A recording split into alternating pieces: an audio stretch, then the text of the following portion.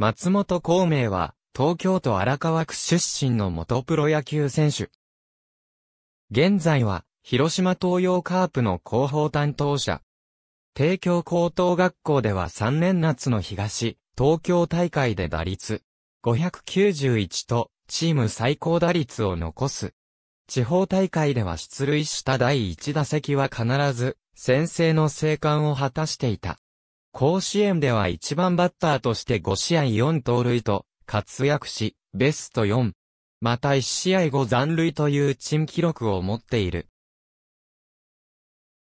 これは、個人最多残塁の大会対記録。その後、同僚の吉田圭と共に2002年ドラフト5巡目で、広島東洋カープに入団した。三塁守備につく、松本3年目の2005年に、初の一軍昇格。2006年はセパ交流戦で4割近い打率を残す。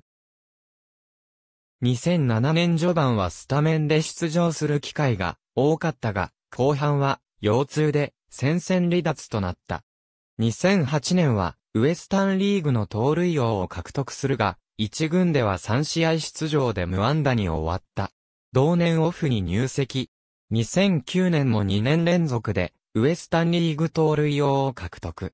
2014年10月28日に球団から戦力外通告を受け、二軍マネージャーとして球団に残ることになった。12月2日、自由契約公示された。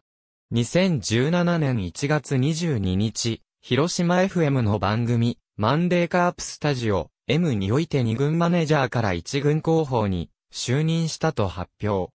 ありがとうございます。